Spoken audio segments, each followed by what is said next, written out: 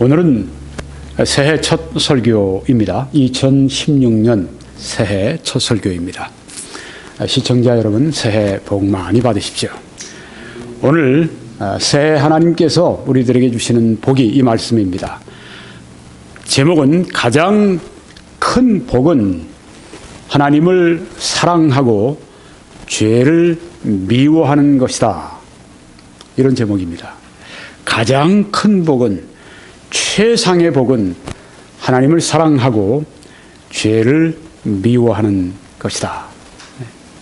새해가 되면 여러 어, 사람들이 이제 각자의 소원을 가지고 있습니다. 어, 돈 많이 벌었으면 좋겠습니다. 새해는. 네. 새해는 우리 자녀가 좋은 대학에 입학했으면 좋겠습니다. 건강했으면 좋겠습니다. 아, 체중이 좀 줄었으면 좋겠습니다. 뭐 여러 가지 좋은 것들을 생각합니다. 우리에게 주어지는 가장 좋은 것, 네. 좋은 게 이제 복인데요. 네. 하나님이 주시는 favor, 어, 그것이 바로 복입니다. 하나님이 주시는 좋은 것이 복인데, 복 중에 복, 가장 큰 복이 무엇인가? 그건 돈도 아닙니다. 명예도 아닙니다. 지식도 아닙니다. 그것은 하나님을 사랑하고 또한 죄를 미워하는 것이 가장 큰 복이라고 하는 것입니다. 먼저 저는 하나님을 사랑하는 자들이 받는 복에 대해서 성경을 통해 말씀을 드리기를 원합니다. 신명기 7장 9절을 보니까 오직 내 하나님 여호와는 하나님이시요 신실하신 하나님이시라. 그를 사랑하고 그 계명을 지키는 자에게는 천대까지 그 언약을 이행하시며 인애를 베푸시되라고 말씀했습니다. 하나님을 사랑하는 것은 보상이 있습니다.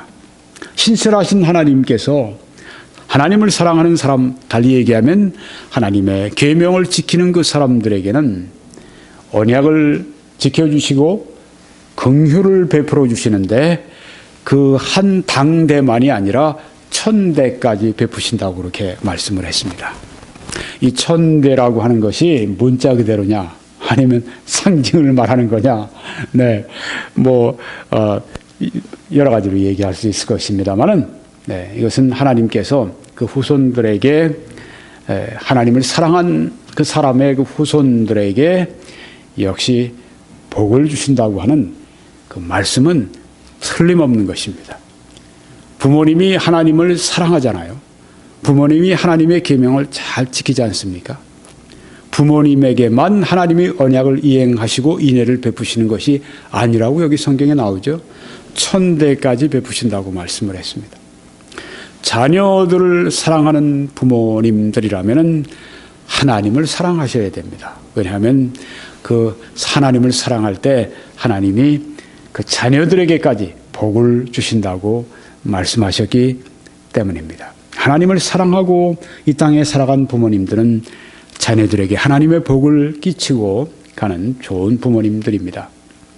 명하여 네 하나님 여호와를 사랑하고 그 모든 길로 행하며 그 명령과 규례와 법도를 지키라 하는 것이라. 여기 여호와 하나님을 사랑하는 것과 여호와 하나님의 명령과 규례와 법도와 말씀을 지키는 것과 함께 가는 것을 볼 수 있죠. 네, 함께 동행하는 것을 볼 수 있습니다. 여호와를 사랑한다고 하는 것은 여호와의 말씀을 지키는 것이다.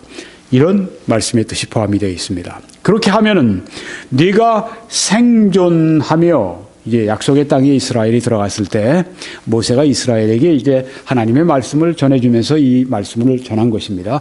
네가 사는 것뿐 아니라 적들에게 내가 죽임을 당하는 것이 아니라 내가 생존하는 것뿐 아니라 번성할 것이다. 너의 후손도 많아질 것이다. 또 네 하나님 여호와께서 네가 가서 가서 얻을 땅에서 가나안 복지에서 네게 복을 주실 것임이라 그렇게 말씀을 했습니다. 여호와 하나님을 사랑하는 사람들에게 하나님은 복을 약속하셨습니다. 여기 성경에는 하나님께 가까이 함이 내게 복이라 그렇게 말씀을 합니다. 영어로는 it is good for me to draw near to God. 좋은 것이다. 네. 복이라고 하는 게 좋은 것이니까요. 하나님께 가까이 함이 좋은 것이다. 선한 것이다. 혹은 복이라 우리 성경이 번역했는데 잘 번역했다고 생각이 됩니다. 하나님을 가까이 하는 것, 달리 얘기하면 하나님을 사랑하는 것입니다.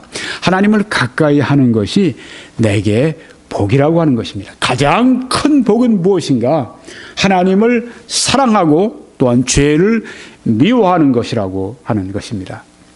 하늘의 하나님 여호와 크고 두려우신 하나님이여 라고 이렇게 느헤미야가 기도를 합니다. 주를 사랑하고 주의 계명을 지키는 자에게 언약을 지키시며 긍휼을 베푸시는 주여. 아까 그 모세의 그 이스라엘 백성에게 한 전해준 그 말씀과 동일하죠. 네. 하나님을 사랑하고 하나님의 계명을 지키는 사람들에게 하나님은 언약을 지켜 주시고 긍휼을 베풀어 주신다고 그렇게 말씀을 했습니다. 그래서 우리는 하나님을 사랑해야 합니다. 하나님이 가라사대 저가 나를 사랑한즉 내가 저를 건지리라 저가 내 이름을 안즉 내가 저를 높이리라 그렇게 말씀해 주셨습니다.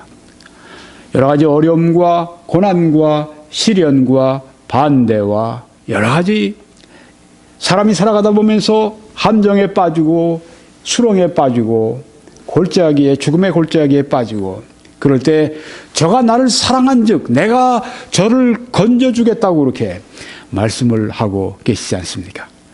나의 계명을 지키는 자라야 나를 사랑하는 자니 예수님이 이렇게 말씀하셨습니다. 내 계명을 지켜야 나를 사랑하는 것이다. 주님을 사랑한다고 하는 것은 주님의 계명을 지키는 것이라고 하는 것입니다. 우리가 뭐 감정적으로 뜨거워서 눈물을 흘리기도 하고 네, 그것도 하나의 표현이지만 그것으로 끝나면 안 됩니다. 주님의 계명을 지킬 때 주님을 사랑하는 것이라고 에게 분명하게 정의를 말씀해 주셨습니다. 나를 사랑하는 자는 내 아버지께 사랑을 받을 것이요. 하나님이 우리를 사랑하시죠. 그래서 독생자 예수 그리스도를 주셨습니다. 하나님이 세상을 이처럼 사랑하사 독생자를 주셨으니 우리가 하나님께 충성하기도 전에 우리가 죄의 길을 가고 있을 때 죄인인 우리들을 위해서 하나님이 그 죄인들을 사랑하셔서 독생자를 보내주셨습니다. 이제 하나님의 자녀가 됐는데 얼마나 더 사랑이 많으시겠어요. 그런데 여기 사랑은 좀 다릅니다. 내 아버지께 사랑을 받을 것이요. 아니, 다 사랑을 하시지 않습니까? 근데 여기 내 아버지께 사랑을 받는다고 하는 말씀은 좀 특별한 사랑입니다. 예수님을 사랑합니다. 그래서 주님의 계명을 열심히 지킵니다. 그 사랑을 표현합니다. 그럴 때 내 아버지가 특별한 사랑으로 사랑하실 것이요. 나도 그를 사랑한다. 하고 말씀을 합니다. 우리가 주님께 특별한 사랑을 드리면 주님도 특별한 사랑으로 우리에게 응답하신다고 하는 것을 여기에서 보여주시고 또 그에게 나를 나타내리라 하고 말씀했습니다. manifest. 어떤 사람에게 특별히 하나님의 가까이 하심이, 하나님의 사랑이 그에게 나타나는 게 보입니다. 왜 그렇습니까? 하나님이 뭐 그분만 특별히 편해서 그러십니까? 아닙니다. 여기에 바로 비결이 있습니다. 그가 하나님을 사랑합니다. 그래서 하나님이 사랑하시는 것을 그에게 나타내 보여주시는 것입니다. 우리가 하나님을 뜨겁게 사랑하면 하나님도 우리를 뜨겁게 사랑하시는 것을 보여주시겠다고 말씀하고 있습니다. 사람이 나를 사랑하면 내 말을 지키리니 말씀하시죠. 네. 우리가 하나님을 사랑하는 것이 복인데 가장 큰 복이 최상의 복이 하나님을 사랑하는 것인데 2016년에 우리가 받을 수 있는 최고의 복이 무엇인가? 그것은 바로 하나님을 사랑하는 마음, 하나님을 사랑하는 것입니다. 하나님을 사랑한다고 하는 것은 하나님의 말씀을 지키는 것인데 내 아버지께서 그를 사랑하실 것이요. 다시 이 말씀이 나오죠. 사랑하신다. 우리가 그에게 와서 아버지와 아들이 그에게 와서 거처를 그와 함께 하리라. 함께 동거 동락해 주시고 함께 하신다는 말씀입니다. 어디 여행을 떠나는데 자녀가 아버지 제가 어디 유럽을 좀 다녀오려고 그러는데 배낭 여행을 가더라도 돈이 좀 필요합니다. 돈을 좀 주세요. 돈을 받아서 떠났습니다. 그런데 그거보다 아버지 이번 유럽 가는데 함께 가시지 않겠어요? 네. 아버지가 함께 가면 뭐가 좋죠? 가는 곳마다 아버지가 다다 페이를 하십니다. 돈을 일부 받아가는 것보다 아버지가 함께 이 여행에 함께 가시는 게 훨씬 나은 것이 아니겠습니까? 아버지 하나님, 아들 예수님, 거처를 와서 그와 함께 해주겠다. 왜요? 사랑하거든요. 아버지와 아들을 하나님을 사랑합니다. 그러니까 하나님이 함께 와서 그 사랑을 나누기를 원하신다고 하는 것입니다. 하나님도 인격적인 하나님이 우리 신격이라고 얘기하는데 하나님도 지 정 의 성부 성자 성령 삼위의 하나님께서 다 지 정 의가 있다고 하는 것을 우리 성경에서 보고 있지 않습니까? 이 인격이 어떻게 반응합니까? 사랑하면 사랑이 가게 되어 있습니다. 우리가 하나님께 사랑을 표하면 하나님도 우리에게 특별한 사랑으로 우리에게 임하시고 함께 번고 동락해 주시겠다고 이렇게 말씀한 것입니다. 2016년의 최고의 축복은 무엇인가? 하나님을 뜨겁게 뜨겁게 일편단심으로 사랑하는 것입니다. 그때 하나님도 우리의 우리에게 그 사랑으로 함께 그렇게 메아리 치신다고 하는 말씀입니다. 여기 보니까 하나님을 가까이 하라. 그리하면 너희를 가까이 하시리라. 그 말씀을 했습니다. 하나님 저에게 좀 가까이 좀 해주세요. 네. 이렇게 왜 다른 사람에게는 가까이 하시는데 저한테는 가까이 하지 않으세요? 이렇게 우리가 투정을 하지 말고 여기 성경 말씀대로 하자는 거죠. 하나님을 가까이 하라. 그러면 너희를 가까이 하시리라. 어떤 때는 누가 많이 나를 위해서 기도해 주었어요. 네. 그 결과로 하나님이 그에게 가까이 하시는 때가 있습니다. 필요하죠. 네. 그런데 그것만 남의 힘에 의존해서 내가 뭔가 하나님께로부터 받으려고 하지 말고 늘 남의 힘에 의존하는 사람들은 누굽니까? 애들이죠. 영적으로 어린 것입니다. 어른들은 어떻게 합니까? 의존하지 않고 주게 되죠. 마찬가지입니다. 영적으로 성숙할 때 내 스스로가 하나님 앞에 바로 서는 것뿐 아니라 내가 하나님께 받아서 다른 사람들을 위해 중보 기도하고 다른 사람들에게 주는 것이죠. 많이 줄 때 그 사람이 영적으로 성숙하고 그 사람이 정말 하나님께 쓰시는 사람이죠. 하나님을 어떻게 합니까? 가까이 하세요. 달리 얘기하면 하나님을 사랑하세요. 가까이 하세요. 그러면 하나님도 우리에게 가까이 해주시겠다고 했습니다. Draw near to God, and He will draw near to you. 네, 하나님이 나와 함께 하신 것이 최고의 축복인데 하나님은 우리들에게 우선권을 주셨네요. 하나님을 가까이 하라. 그러면 너희를 가까이 하시리라. 아주 이번 2016년에 이 새해 벽두에 여러분이 작정하시기 바랍니다. 이번 해는 내가 하나님께 가까이 나가겠다. 예. 하나님이 그러면 가까이 우리에게 오신다고 말씀을 했습니다. 이 축복을 여러분이 꼭 저와 함께 받으시기 바랍니다. 그래서 우리 믿음의 가장 그 조상으로 첫 번째 치는 분이 누구죠? 아브라함입니다. 네. 아브라함은 하나님이 부르셨을 때 고향 땅도 탁 놔두고 떠난 사람입니다. 하나님이 또한 그 백세 난 자식 유일한 그 자식 약속의 자식 그 아들 이삭을 달라고 그렇게 말씀하실 때도 주저하지 않고 하나님께 드렸던 믿음의 사람입니다. 실제로 아주 번제로 드리려고 했을 때 하나님께서 다른 그 양을 예비해 두시고 그 양을 잡게 하시고 그 다음에 아브라함에게 그 하나님을 사랑하고 하나님의 말씀에 순종했던 그 아브라함에게 하신 말씀이 이겁니다. 이르시되 여호와께서 이르시기를 내가 나를 가리켜 맹세하노니 대단한 약속을 여기 하시는 겁니다. 내가 나를 가리켜 맹세한다. 신실하신 하나님, 진리의 하나님께서 내가 나를 가리켜 맹세하는데 이건 반드시 이루어진다는 말씀입니다. 네가 이같이 행하여 내 아들 내 독자도 아끼지 아니하였은즉 하나님이 여기서 희생하시는 아들을 바친다고 하는 게 보통 희생입니까 그게 유일한 아들 바로 그 아들을 바친다고 하는 게 자기의 전부를 바치는 것 같은 그 희생인데 하나님께서 그것을 보셨다고 하는 거죠. 내가 이같이 행하여 내 아들, 내 독자도 아끼지 아니하였은즉 하나님 앞에 그 말씀에 순종하고 하나님께서 희생을 하라고 할 때 말씀하실 때 희생을 아끼며 불사하고 나오는 이것을 아십니다. 그래서 내가 그렇게 했으니까 내 아들 내 족자도 독자도 아끼지 아니하였은즉 하나님이 우리가 하나님께 드리고 하나님께 우리가 바치고 이 모든 것에 대해서 하나님께서 아시고 여기에 그렇게 했으니 여기 말씀하시면서 내가 나를 가리켜 맹세한다 하시면서 내가 네게 큰 복을 주겠다고 말씀하지 않으십니까? 네. 큰 복을 여기 내가 맹세, 내가 나에게 맹세해서 너에게 주는 것은 큰 복인데 그 전에 뭐가 있었습니까? 아브라함에게 하신 말씀을 그 어렵고 힘들고 힘든 정말 죽기보다 어려운 그 아들을 하나님께 바치는 그 일을 하지 않았습니까? 바로 그것을 보시고 하나님께서 여기에 축복하시는 걸 볼 수 있습니다. 하나님께 바칠 때 하나님 앞에 희생하고 하나님께 그 부르심에 응답하게 될 때 하나님께서는 그냥 결코 빈 손으로 도돌려 보내지 않습니다. 우리가 뭐 새해가 되면은 떡 해가지고서 이제 집집마다 나눠주고 그렇게 하잖아요. 그럼 여러분 어떻게 하십니까? 우리도 이제 누가 이웃집에서 떡을 가지고 오면 빈 그릇 보내는 집이 있나요? 별로 그렇지 않죠.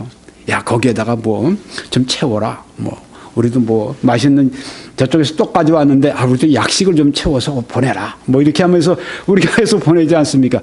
하물며 우리 우리 같은 사람들도 그렇게 하는데 하나님께서 아들 독자를 받으셨는데 하나님께서 가만히 계시겠습니까? 여기에 내가 내게 큰 복을 주고 네 씨가 크게 번성하여 하늘의 별과 같고 바닷가의 모래와 같게 하리니 네 씨가 그 대적의 성문을 차지하리라. 이렇게 여기에 그리스도에 관한 예언도 여기에 말씀해 주시고 있습니다. 하나님께 바친 것에 대해서 하나님께서는 반드시 수십 배, 수백 배 그 이상으로 복을 주신다고 하는 것. 하나님을 사랑하고 또한 하나님의 계명을 지키고 여기에 대해서 하나님께서 분명히 보상하신다고 하는 것을 이 땅에서나 또한 다가올 세상에서나 확실하게 보상하신다고 하는 것을 여기에 내가 나를 가리켜 맹세한다고 그렇게 하시면서 하지 않으셨습니까? 또 내시로 말미암아 천하 만민이 복을 받으리니 그리스도로 말미암아 구원의 축복이 많은 걸 말하죠. 이는 보십시오. 네가 나의 말을 준행하였음이니라 하셨다 하니라. 네. 하나님의 말씀을 지켰다고 하는 건 그 어려움 속에서도 지켰다고 하는 것은 하나님을 사랑하는 것을 표했다고 하는 것입니다. 네가 나를 사랑하는 것에 대해서 내가 그냥 놔두지 않는다. 내가 너에게 큰 복을 주겠다고 말씀하지 않으십니까? 하나님을 사랑하는 것은 그러므로 하나님께서 우리에게 큰 복을 주시게 되는 그 기초가 된다고 하는 것입니다. 그래서 이번 2016년에 가장 놀라운 축복이 무엇입니까? 하나님을 사랑하는 것입니다. 하나님을 사랑하고 그의 말씀을 지킬 때 여기에 하나님께서 놀라운 축복으로 우리에게 임하신다고 하는 것입니다. 하나님을 사랑하는 것은 계명을 지키는 것입니다. 여기 보니까 예수님께서 이르시되 네 마음을 다하고 목숨을 다하고 뜻을 다하여 주 너의 하나님을 사랑하라 하셨으니 이것이 크고 첫째 되는 계명이요. 네. 하나님을 사랑한다고 하는 것은 아니 뭐 사랑하고 싶으면 하고 말면 말고 이게 아니죠. 네. 이게 우리의 크고 가장 크고 첫째가 되는 the first and great commandment 영어로 그렇게 나와 있는데요. 크고 첫째가 되는 계명이 이것입니다. 하나님을 사랑하는 것. 네. 하나님을 사랑하면 어떤 좀 전에 우리가 놀라운 그 축복을 아브라함에게 베푸시는 걸 보지 않습니까? 근데 하나님을 반대로 사랑하지 않으면 어떻게 될까요? 이거 가장 큰 계명을 어기는 거니까 이게 반대로 네. 반대로 얼마나 손해를 보겠습니까?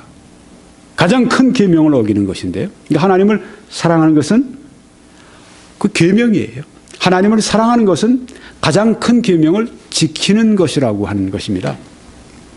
오직 네 하나님 여호와는 하나님이시요 신실하신 하나님이시라. 그를 사랑하고 그 계명을 지키는 자에게 여기 말씀 있죠. 네. 하나님을 사랑한다고 하는 것은 하나님의 계명을 지킨다고 하는 말씀이라고 여기 성경에 나오고 있다고 하는 것입니다. 명하여 내 하나님 여호와를 사랑하고 그 모든 길로 행하며 그 명령과 규례와 법도를 지키라.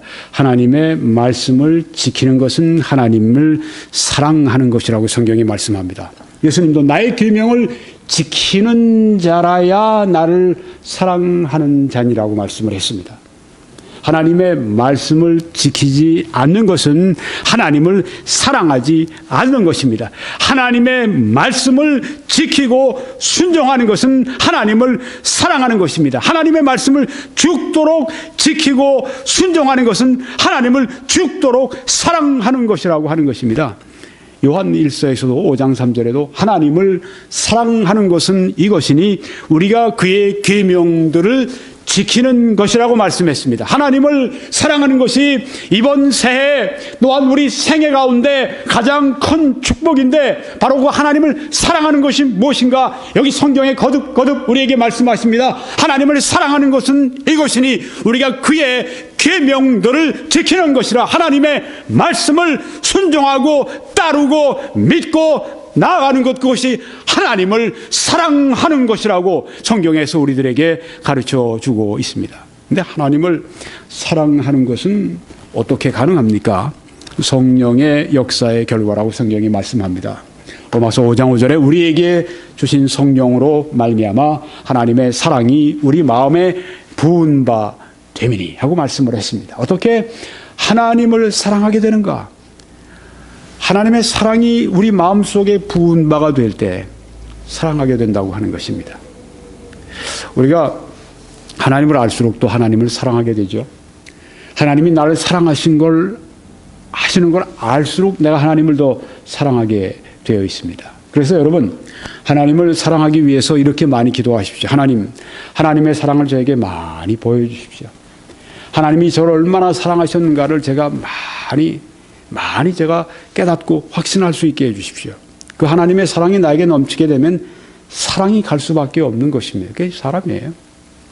성령의 열매는 사랑이라고 말씀하지 않습니까? 네.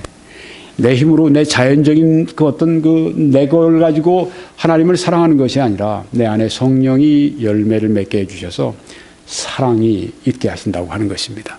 사랑의 선물을 받아야 되겠습니다. 네, 여기 성령의 열매라고 하는 것입니다. 성령의 열매. 네. 하나님을 그러면 사랑하는 것은 성령의 열매인데 그건 하나님이 하시는 일인데 우리가 할 일은 없습니까? 있습니다. 성령 안에 우리가 살아갈 때 그런 삶을 살 때 하나님을 사랑하는 결과가 맺어집니다. 여기 보니까요. 갈라디아 5장 16절 성령을 따라 행하라. 갈라디아 5장 25절 성령으로 살라 이렇게 말씀을 합니다. Walk in the Spirit 성령을 따라 행하라. Live in the Spirit 성령으로 살라. 이게 무슨 뜻입니까? 성령 안에서 살라. 성령 안에서 행하라. 성령의 능력 가운데 살라고 하는 것이죠. 네, 우리가 그리스도인의 삶을 제대로 살려고 할 것 같으면 그리스도인의 삶은 초자연적인 삶입니다. 이건 내 힘으로 살 수가 없는 삶입니다. 이건 뭐 도덕적인 어떤 뭐 그 삶을 살려고 하는 그런 어떤 다른 종교에서 가르치는 그거와 전혀 다릅니다. 우리의 힘으로는 결코 이룰 수가 없습니다. 성령께서만이 믿는 자들 안에 거하시는 성령께서만이 이루어질 수가 있습니다. 성령은 오시면 그리스도를 증거하신다고 말씀하지 않으셨습니까? 네. 성령이 우리에게 그리스도를 증거해 주십니다. 그의 사랑을 우리들에게 증거해 주십니다. 그렇게 함으로 우리가 어 그리스도가 나를 이렇게 사랑하시는구나. 사랑하게 만들어 주시는 것입니다. 성령은 성경에 보니까 예수의 영이라고 말씀하셨습니다. 그 말씀이 무엇입니까?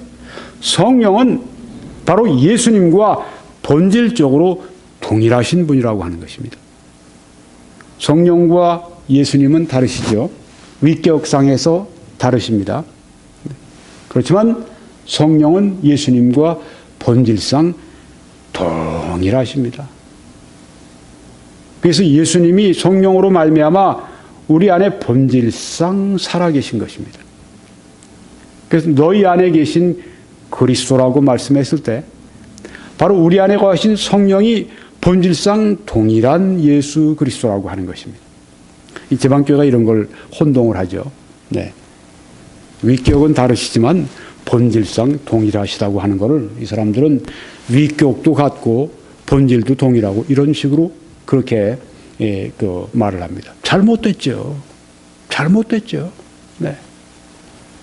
우리 안에 거하시는 성령은 본질상 예수님과 동일하십니다.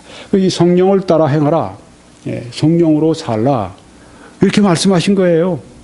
어떻게 사느냐? 성령으로 살라. 어떻게 work이라고 하는 것은 행한다고 하는 뜻인데 사람들 앞에서 우리가 살아가는 그 우리의 삶을 말하는 건데요. 너희들이 이렇게 살아라. 그 똑같은 말입니다. work, live. 성령을 따라 행하라. 성령으로 살라. 같은 말입니다. 성령의 능력 가운데 살라. 매일매일 성령의 능력 가운데 살라. 기도도 성령의 pray in the spirit 말씀 있지 않습니까? 성령 안에서 기도하라. 성령 안에서 기도 예배하라. 성령 안에서 봉사하라. 오직 성령이 너에게 임하시면 너희가 내 증인이 되리라. 성령 안에서 전도하라. 성령 안에서 우리가 해야 합니다. 성령 안에서 우리가 말씀도 봐야 합니다. 성령으로 살라. 여러분이 로마서 8장 4절 5절에 보면 이런 말씀이 있습니다. 그 영을 따라 행하는 로마서 8장 5절에는 영을 따르는 이런 말씀이 나옵니다. 우리말로 여기에 지금 그 영, 영이라고 했는데요. 그러니까 이 그 성경을 잘 모르는 분들은 이 영이 무슨 영이냐? 이렇게 되겠죠. 성령입니다. 네. 왜 번역을 이렇게 했는지 참 제가 아쉬워요. 네. 이 그 번역진들이 왜 이렇게 그, 어, 분명한 그 영을 따라 그 성령을 따라 이렇게 번역을 했으면 그냥 영어는 모르고 뭐 원어도 모르고 그런 분들이 우리 말만 가지고 성경을 보는 분들이 잘 이해가 가잖아요. 근데 뭐 그 영이라고 했다가 영이라고 또 했다가 영어들은 다 the spirit 그냥 그 대문자 스피릿이니까 성령을 말씀한다는 말이에요. 자, 그러니까 여기서 제가 말씀드리는 게 뭐냐면 성령을 따라 행하는 로마서 8장 4절에 있는 이 말씀은 요 앞에 본 갈라디아 5장 16절에 성령을 따라 행하라 동일한 말씀이라는 것입니다. 또 이 로마서 8장 5절에 영을 따르는 이게 그러니까 성령을 따르는 영어 성경 보면은 live according to the spirit 성령을 따라 살은 이렇게 번역이 잘 돼 있어요. 네. 이 말은 갈라디아 5장 25절에 성령으로 사는 걸 말합니다. 그러니까 그리스도인들이 훈련해야 될 게 무엇인가? 주님 성령으로 제가 살게 해 주십시오. 내 안에 사랑이 부족해요. 그러면 어떻게 합니까? 아, 내가 사랑하려고 막 노력하고 이게 아니죠. 성령을 바라보는 겁니다. 오, 성령의 열매가 사랑이 아닙니까? 성령으로 살라고 하지 않으셨습니까? 성령을 의지합니다. 성령이시여 제 안에서 사랑이 넘치게 해 주십시오. 어떤 사람이 인내가 부족해요. 네. 아, 인내하려고 막 애를 써서 우리가 하나님을 기쁘시게 해드리는 것이 아니라 인내가 필요, 성령의 열매 가운데 사랑, 희락, 화평, 오래 참음, 오래 참음이 나오잖아요. long suffering. 인내하는 게 나오지 않습니까? 성령을 바라보는 것입니다. 제가 인내가 부족합니다. 오, 성령이시여, 제 안에 인내가 생길 수 있게 해 주십시오. 그럼 성령께서 오셔서 인내를 우리들에게 열매로 맺게 해 주신다. 그러니까 성령으로 살라, 성령으로 행하라. 바로 그런 의미라고 하는 것입니다. 여러분 성령으로 사십니까? 여러분 성령을 얼마나 의지하세요? 여러분이 복음 전도를 위해 성령을 얼마나 여러분이 구하고 성령의 역사를 얼마나 여러분들이 사모하고 있으십니까? 여러분이 기도하실 때 얼마나 성령을 의지하고 여러분이 기도하십니까? 여러분이 예배하실 때 얼마나 성령을 의지하고 예배하세요? 저는 여기 예배에 참석하기 전에 많이 기도합니다. 오, 하나님, 우리 교회에 다른 거 없어도 좋습니다. 그저 하나님의 성령이 오셔서 우리에게 하나님의 사랑을 나타내 보여주시고 하나님의 능력을 우리들에게 베풀어 주십시오. 전 그러고 예배에 참여합니다. 근데 많이 그렇게 예배를 드리고 어, 예배를 위해 기도하고 참여하고 나면요 성령의 역사가 특별한 걸 어, 경험할 때가 있습니다. 여러분 제가 찬송할 때 굉장히 많이 우는 때가 있잖아요. 그럼 그 주간에 많이 기도한 겁니다. 네, 거의 대부분. 네. 제가 성령 여러분 찬송도 여러분이 그 어, 정말 그 기쁨으로 어, 부르시고 그 단어 하나 하나마다 아주 그냥 그 마음속에서 막 그냥 그 의미가 있고 기쁘고 그 어떤 때는 저는 찬송을 늦게 불러요. 왜? 찬송 빨리 끝나는 게 싫어서. 찬송을 더 좀 부르고 싶은데 빨리빨리 불러버리면 찬송이 빨리 끝나버리잖아요. 그래서 어떤 때는 찬송을 좀 늦게 부르는 이유 가운데 하나도 그런 게 있습니다. 너무너무 좋은 거예요. 그냥 그 찬송, 그 말 한마디 한마디, 그 너무너무 좋은 거예요. 네. 그래서 그 놓치고 싶지가 않은 거예요. 그런, 그런 찬송을 뭐, 뭐 자연적으로 뭐, 무엇이 있어서 부릅니까? 아니죠. 성령께서 그런 사랑을 주시는 거죠. 그런 찬송을 부르면 얼마나 정말 아주 그 기쁜지요. 네. 그 찬송의 회복이 필요합니다.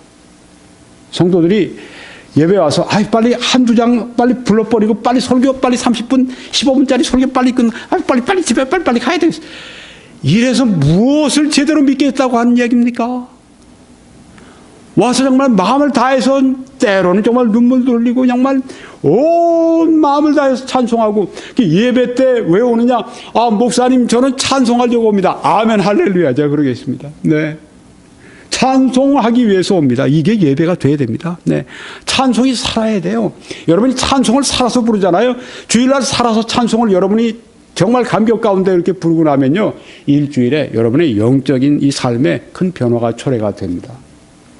여러분 그래서 오 하나님 이번 새해에는 찬송의 은혜를 주십시오 하시기 바랍니다. 성령으로 살아라고 말씀했습니다.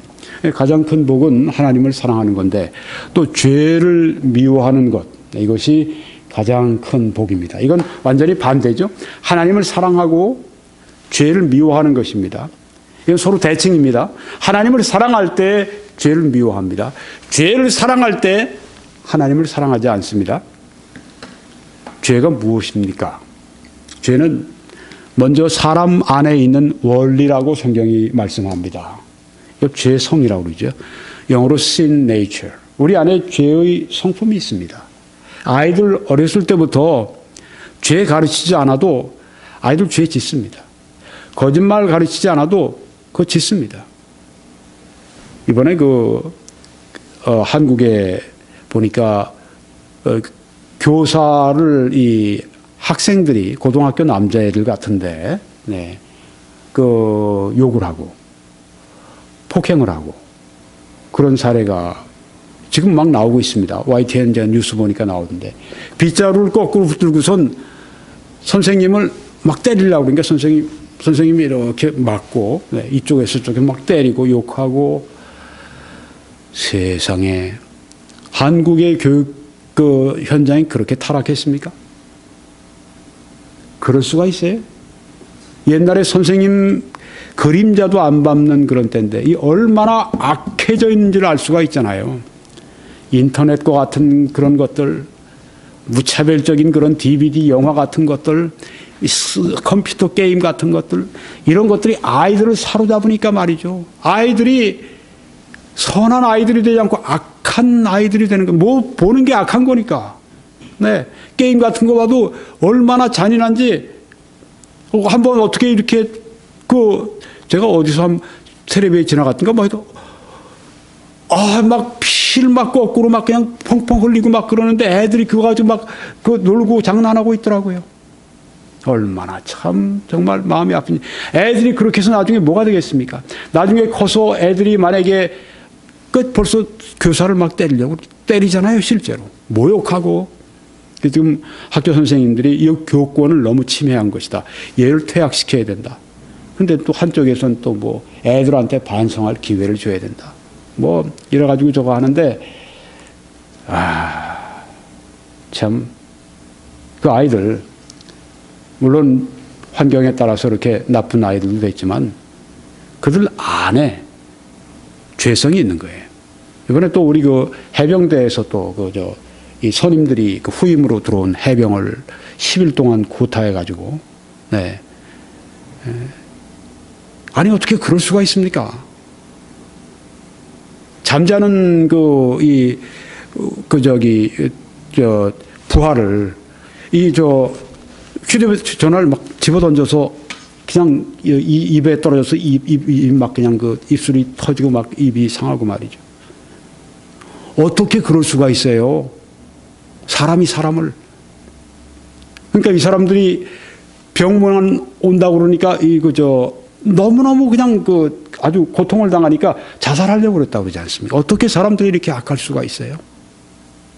어떻게 그 약자 그 저 그 후배를 놓고 그렇게 선배들이 몇 사람이 그렇게 그럴 수가 있습니까? 이런 사람들 좀혼좀 내야 돼요. 근데 여러분 우리가 그 사람들만 탓할 게 아닙니다. 사람 안에 다 죄성이 있습니다. 그래서 바- 사도 바울도 이렇게 말씀합니다. 내 속에 거하는 죄인이라. 사도 바울 안에 거하는 죄가 뭡니까? 죄의 성품을 말합니다. sin nature. 영어로 우리가 그 성경에 육신이라고 이렇게 번역이 되는 때도 있습니다.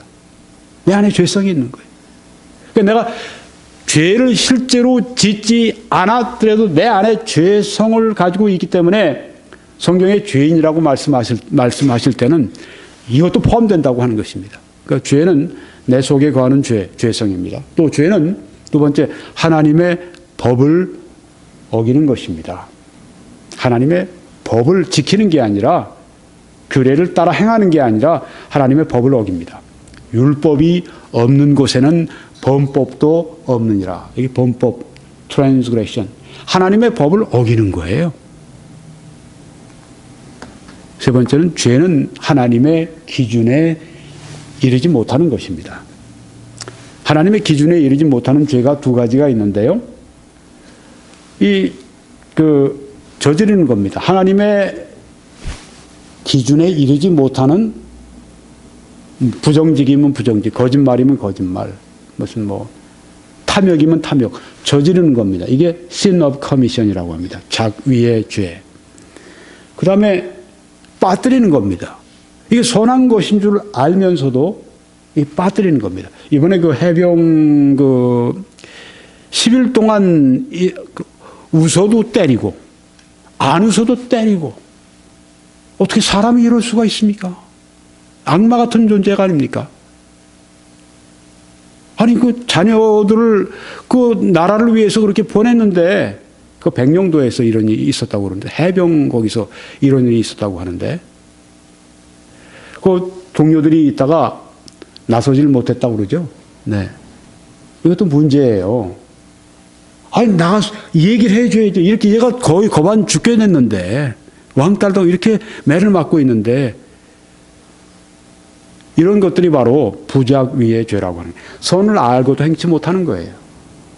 죄는 하나님의 기준에 이르지를 못하는 것입니다. 그래서 모든 사람이 죄를 범하였음에 하나님의 영광에 이르지 못했다. 하나님의 기준에 이르지 못한 그게 바로 죄라고 하는 것입니다. 아무도 하나님의 영광 그리고 하나님의 그 기준 표준에 아무도 이룰 수 있는 사람이 아무도 없습니다. 공자, 석가모니 뭐 누구를 갖다 대도 아무도 하나님의 영광의 기준에 이르지를 못합니다. 모든 사람이 죄를 범했다고 하는 말씀은 기준에 이르지 못했다고 하는 말씀이 여기에 포함되어 있다고 하는 것입니다. 그리고 죄는 하나님을 거역하는 것입니다. 불법입니다.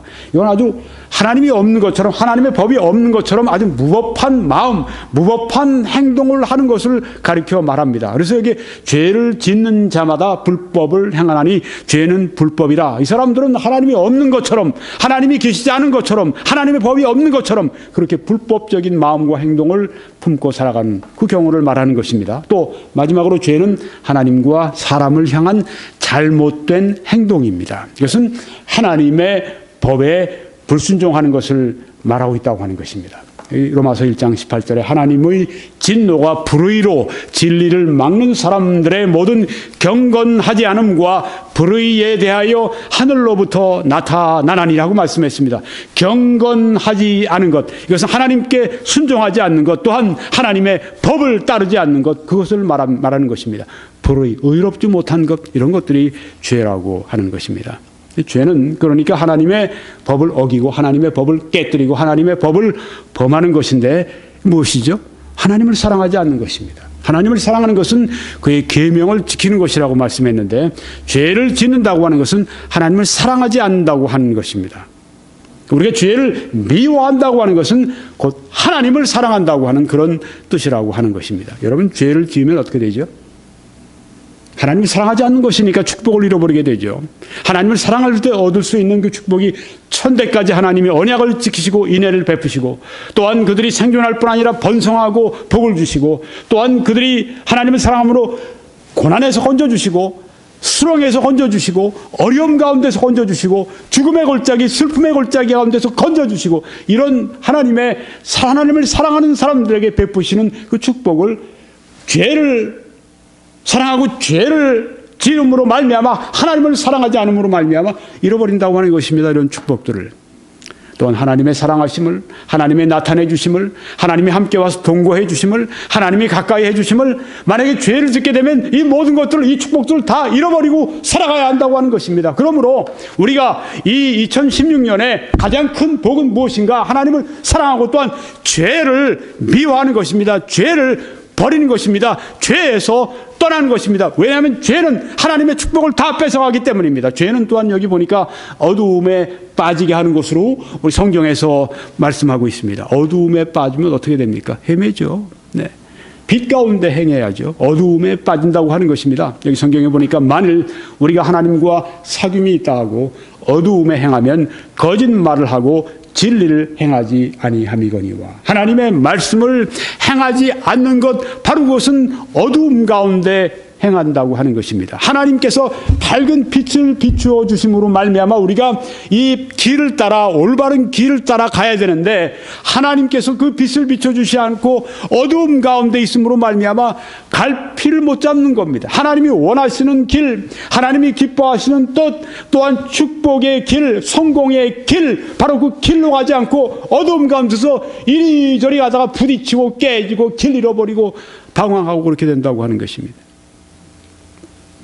두 번째, 우리가 죄를 사랑하고 죄를 짓게 되면 하늘의 기쁨을 상실하게 된다고 성경이 말씀합니다. 내가 이것을 너희에게 이름은 내 기쁨이 하나님의 기쁨이 너희 안에 있어 너희 기쁨을 충만하게 하려 함이라. 네.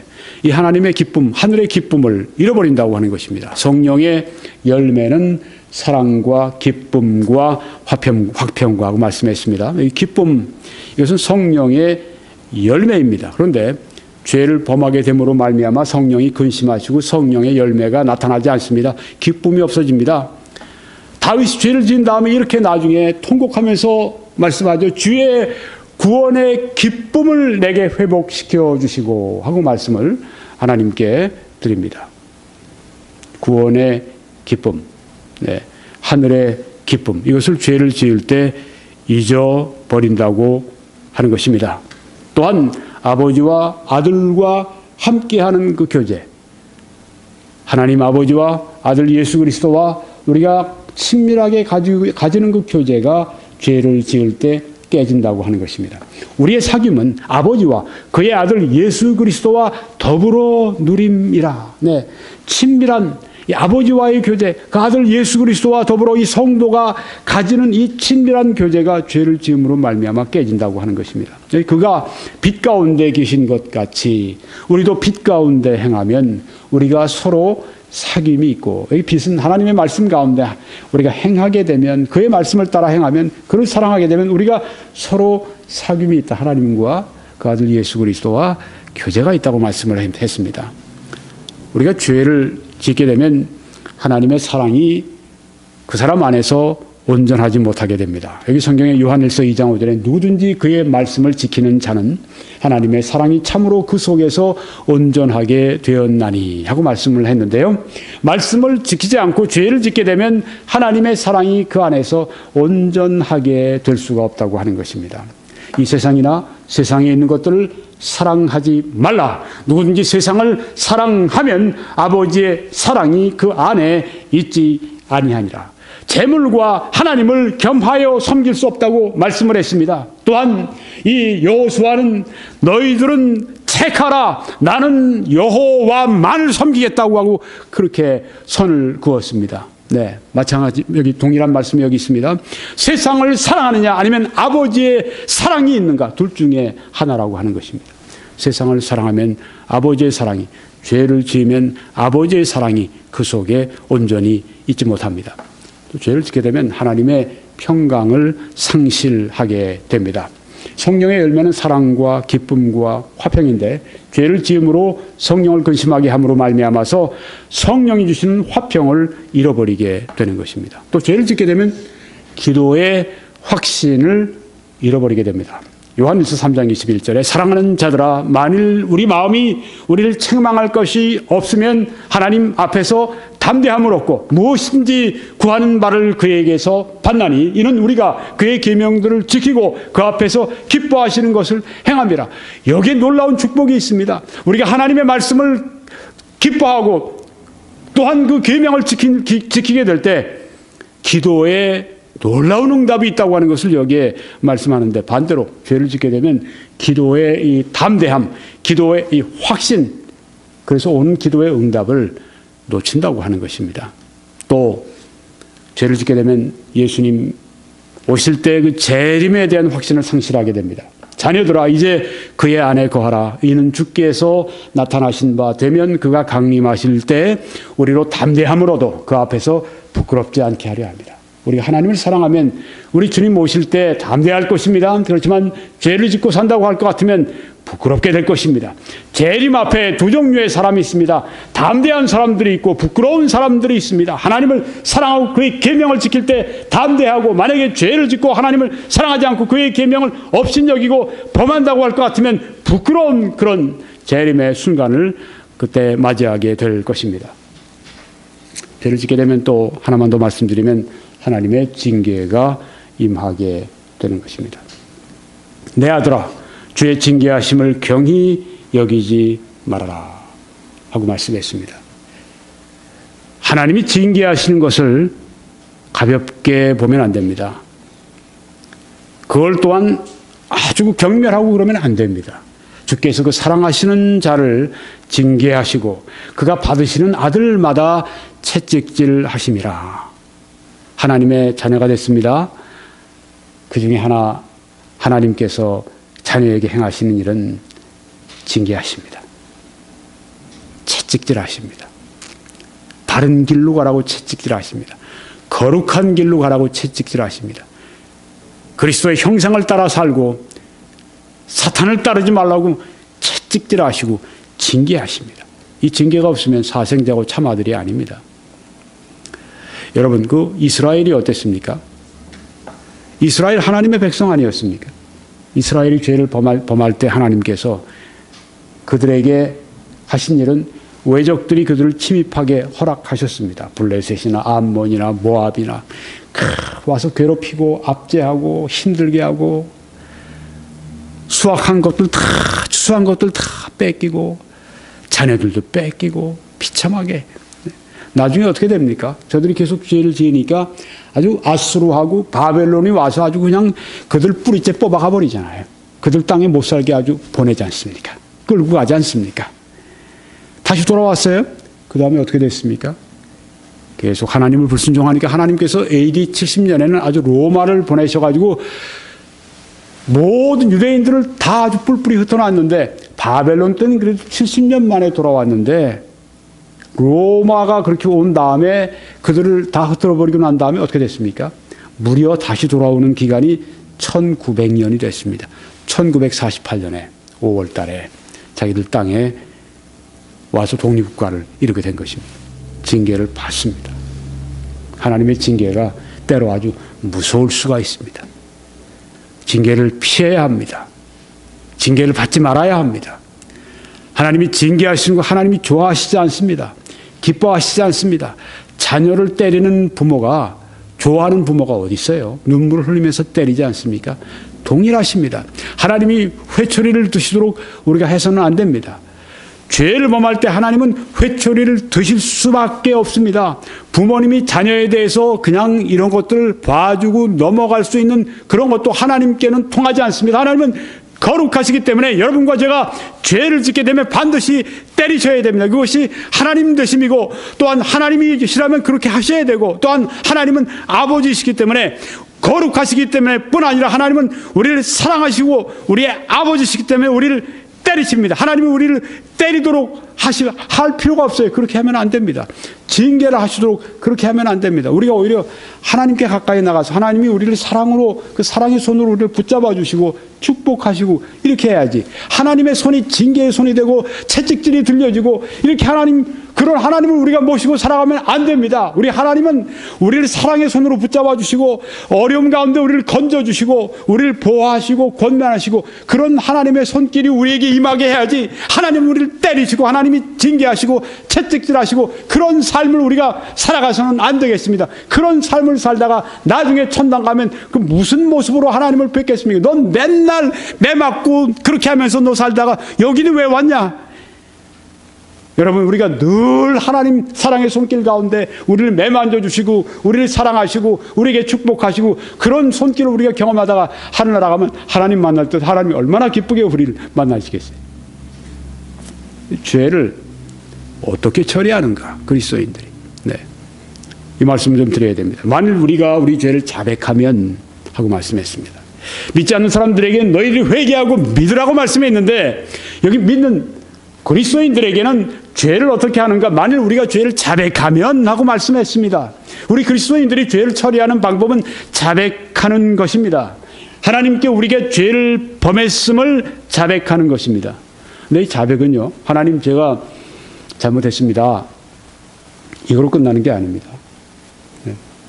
시인하는 거로 끝나는 것이 아닙니다. 여러분, 하나님께 자백할 때요, 어, 부흥목, 부흥사, 어, 뭐 부흥 목사님들은 이런 말씀들을 잘 하십니다.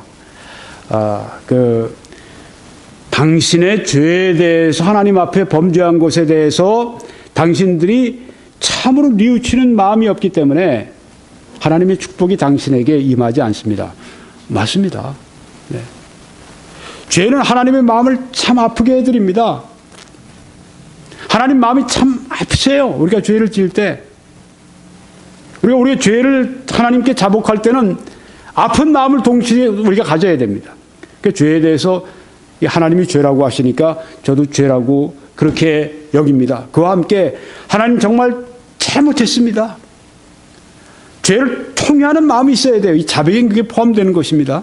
네. 제가 죄 지었습니다. 뭐 이런 태도가 아닙니다. 하나님 제가 범죄했습니다. 잘못했습니다. 네. 통회하는 마음이 있어야 돼요, 여기에. 그리고 그거로 끝나면 안 됩니다. 죄에서 돌이켜야죠. 제가 죄를 떠납니다. 짓지 않겠습니다. 지정의가 다 들어가 있다는 얘기입니다. 내가 죄에 대해서 죄입니다. 그뿐 아니라 죄가 정말 잘못했습니다. 하나님. 그리고 이 죄에 대해서 떠나는 것입니다. 이게 자백입니다. confess. 단순히 뭐 입술로만 뭐 그냥 잘못했습니다. 위선적인 게 아니라 잘못했습니다. 죄를 버리는 것입니다. 이게 자백입니다. 만일 우리가 우리 죄를 자백하면 그런 의미로 자백하면 그런 미쁘시고 의로우사 신실하시고 의로우시기 때문에 거룩하시기 때문에 우리 죄를 사하시며 네. 이미 우리는 예수 그리스도 안에서 우리의 죄를, 모든 죄를 다 사함 받았습니다. 네. 그 그리스도 안에서 모든 죄를 다 사함 받지 않았으면 사함 받지 못한 그 죄 때문에 내가 하나님 앞에 그 죄에 대한 대가를 지불해야 되는데 하나님 앞에 내가 스스로 내 죄에 대한 대가를 지불한다면 무엇인지 아십니까? 영원토록 형벌을 받아야 합니다. 죄가 그만큼 하나님 앞에 무서운 것입니다. 죄가 그만큼 하나님의 축복을 우리에게서 거두어갈 수 있는 아주 무서운 것이라고 하는 것입니다. 그런데 여기에서 의롭다고 하시는 말씀은 하나님께서 이미 우리를 예수 그리스도의 보혈로 말미암아 우리를 용서하시고 우리를 의롭다 해주셨습니다. 이제 우리가 잘못했는데 하나님 앞에 이제 나와서 하나님 잘못했습니다 하고 버릴 때 네, 그때 하나님께서 이미 그리스도 안에서 우리의 모든 삶, 죄 사함에 관한 모든 것을 하나님께서 이미 다 그때 받으셨기 때문에 의로우사 그래서 우리의 죄를 사하신다고 하는 것입니다. 사하신다고 했습니다. 그 개별적인 죄들 이미 그 모든 죄가 다 그리스도 안에서 속죄가 되고 다 이미 끝난 것이지만 정죄가 없지만 하나님 앞에 범죄한 그 죄에 대해서 하나님은 그것에 대해서 분명하게 다루셔야 되기 때문에 그 죄는 하나님 앞에 범죄한 아버지 앞에 범죄한 그 범죄에 대해서 하나님은 또한 아버지로서 다루셔야 되기 때문에 그 죄를 사하셔야만 합니다. 그래야만 이 자녀를 축복하실 수가 있는 것입니다. 그러므로 우리는 하나님은 우리를 축복하시도록 우리의 죄를 사하실 수 있도록 자백해야 합니다. 우리를 모든 불의에서 깨끗하게 하실 것이요. 이게 그리스도인들이 하나님 앞에 죄의 처리법입니다. 하나님 앞에 우리가 죄를 철저하게 철저하게 처리하는 걸 배워야 합니다. 아주 철저하게 죄를 미워할 때까지 내가 하나님 앞에 정말 이 죄에 대해서 미워하고 하나님 승리할 때까지 하나님 이 죄가 저를 지배합니다. 하나님 이 어떤 사람들은 아마 담배가 끊어지지 않습니다. 하나님 이 잘못된 거, 이내 몸을 그렇게 그 이 망치는데 담배가 아 그게 죄죠. 네, 아 죄죠. 몸을 망치는데 성전을 망치는데 끊어야죠. 근데 끊기가 너무 힘듭니다. 하나님 정말 저에게 능력을 주십시오. 능력을 주십시오. 왜 능력을 안 주시겠어요? 요만 말씀드리고 곧 마치겠습니다. 하나님을 사랑하는 은혜를 받기 위해서 할 일이 있습니다. 네, 우리 편에 할 일이 있습니다. 성령이 우리에게 주권적으로 주셔야 하나님을 사랑할 수 있지만 또 우리도 할 일이 있습니다. 아까 성령을 따라 행하라고 했는데 이 다섯 가지가 필요합니다. 성경을 열심히 보셔야 합니다. 네. 성경을 열심히 여러분들이 보시면서 성경을 여러분이 하나님을 알면 하나님을 사랑하게 됩니다. 성경은 하나님에 관해 말씀합니다. 성경을 우리가 공부하면서 하나님을 사랑하게 됩니다. 또 기도하셔야 됩니다. 성령께서 나에게 사랑을 주시도록 기도의 삶을 살아가셔야 됩니다. 또 예배하셔야 됩니다. 모일 때마다 모여야 됩니다. 예배 때 하나님이 은혜를 주시기 때문입니다. 내가 혼자 받을 수 없는 말씀을 예배 때 하나님이 나에게 주시기 때문입니다. 이 말씀을 우리가 놓쳐서는 안 됩니다. 또 교제가 있어야 됩니다. 성도 간에 거룩한 교제가 있어야 됩니다. 네, 뭐 일상생활을 얘기하는 것도 필요하지만 그거로 끝나면 안 됩니다. 그리스도인들은 서로를 거룩하게 만들어주는 교제를 해야 됩니다. 그분을 만나면 내가 거룩한 영향력을 받아야 돼요. 말씀을 받아야 됩니다. 그분이 주님을 사랑하는 것을 봐야 됩니다. 영향을 받아야 됩니다. 거룩한 교제. 거룩한 교제가 아니고 모여서 그냥 뭐 잡담이나 하고 참선하고 그런 교제는 차라리 없는 게 낫죠. 그런데 피하는 게 좋습니다. 주를 깨끗한 마음으로 부르는 그 사람들과 함께 해야 합니다. 또 사역이 있어야 합니다. 주님을 섬겨야 합니다. 여러분이 사역하면서 얼마나 축복을 많이 받는지 아십니까? 하나님께서 하나님의 일을 하는 사람들을 기뻐하시고 그들을 축복하시며 여러분 복음 전도하는데 어려우시죠? 어떤 사람을 만나야 되고 또 그 사람과 시간을 보내야 되고 또 그 사람 뭐, 뭐, 먹을 거 사주기도 해야 되고 뭐 그 사람 비도 맞춰줘야 되고 뭐 그렇게 하면서 그 사람과 함께 대화를 할 수 있는 그런 어떤 권리를 얻는 거예요. 네, 그 사람이 입을 마음을 열고 입을 열고 해서 자기 이야기를 하고 이야기하다가 보면 전도할 찬스가 나오지 처음부터 길 가는 사람한테 당신 말이요 밑자름 지옥 가 그랬다 따기를 얻어맞을 수도 있어요. 네. 그런 전도도 필요하지만 노방 전도에서 네, 필요합니다. 저도 저도 전에 저 서울에서 교회 개척할 때 그때가 사당동이었죠. 그 다음에 방배동으로 바뀌었는데 그때 이제 우리 모든 그 교회 그이 성도들 다 그 주로 청년들이 이제 앞뒤에다가 당신은 죽는다 이렇게 써가지고선 이제 거리에 이제 나가서 사람들한테 이제 한 번 죽는 것은 정하신 것이고 그 후에는 심판이 있다. 그걸 이제 알려주기 위해 나갔는데 얼마나 사람들한테 많이 핍박을 받았는지 내가 왜 죽냐? 야 너 기분 나빠? 막 그러면서 사람들이 저거 하는데 뭐 하여튼 우리가 기분 나쁜 어떻든 복음을 전하긴 해야 되는데요. 그것만 가지고는 안 됩니다. 사귀어야 됩니다. 그 사람이 아, 처음부터 얘기할 때 당신 믿지 않으면 지옥 가 그런 얘기하면 처음부터 그런 얘기하면 기분 나쁘니까 안 듣잖아요. 다시 안 만나잖아요. 그런데 그 사람과 먼저 친구가 돼요. 사귀입니다. 이 말도 하고 저 말도 하고 저 말도 하고 이 말도 하고 어느 정도 친해지고 난 다음에 그 다음에 슬슬슬 이야기를 풀어나가는 것입니다. 네. 그 관계 전도라고 하는데요. 복음 전하는 것. 이 사역에 포함이 됩니다. 네. 성경과 기도, 예배와 교제와 사역. 성령을 따르고 의지하는데 얼마나 필요한 것인지 모릅니다. 이 말씀으로 마치겠습니다. 하나님은 새 사명을 가지고 요단을 건너서 새 땅 가나안 복지로 이 새로운 지도자가 돼서 가는 여호수아에게 이렇게 그에게 그 새로운 곳으로 새로운 시대를 열어가는 그 사람에게 이 말씀을 하셨습니다. 오직 강하고 극히 담대하여 나의 종 모세가 내게 명령한 그 율법을 다 지켜 행하고 이 말씀입니다. 여호수아에게 새로운 우리가 우리도 여호수아처럼 새로운 해, 새로운 매일 매일 새로운 기회를 우리가 2016년에 받습니다. 우리들에게 하나님께서 무엇을 하나만 말씀하신다면 하실까요? 여기 모세가 그 모세에게 명령한 그 말씀, 그 율법을 다 지켜 행하라고 여기 지금 여호수아에게 말씀하셨는데 동일한 말씀을 우리에게 주실 것입니다. 율법을 지켜 행하는데 우로나 좌로나 치우치지 말라. 고든 길로 걸어가라. 우러나 말씀을 떠나서 요리로 가봤다가 말씀을 떠나서 요리로 쏘쏘 갔다가 요리로 갔다가 이러지 말아라. 말씀을 따라서 좌로나 우로나 치우치지 말아라. 다 지켜 그 말씀 가운데 코스를 밟고 계속 그 말씀을 따라 가거라. 그 말씀이 너를 성공의 길로, 번영의 길로, 승리의 길로, 가나안 복지를 차지하는 길로 너를 인도할 테니까 그 말씀 따라가라. 그리하면 어디로 가든지 형통할 것이라고 말씀했습니다. 새 땅에 들어가서 어디로 가든지 동으로 가든지 서로 가든지 남북으로 가든지 어디로 가든지 형통할 수 있는 유일한 길 여기에 하신 말씀은 그 말씀을 지켜 행하라. 다 지켜. 요것, 요건 빼고. 요거는 뭐, 에이, 그냥 던지, 이러지 말고 다 지켜 행하라고 말씀합니다. 이 율법 책을 그렇게 하기 위해서 내 입에서 떠나지 말게 하며 늘 말씀 가운데 말씀을 대화하라고 하는 것입니다. 뭐 다른 그 잡담하지 말고 말씀을 자꾸만 얘기하십시오.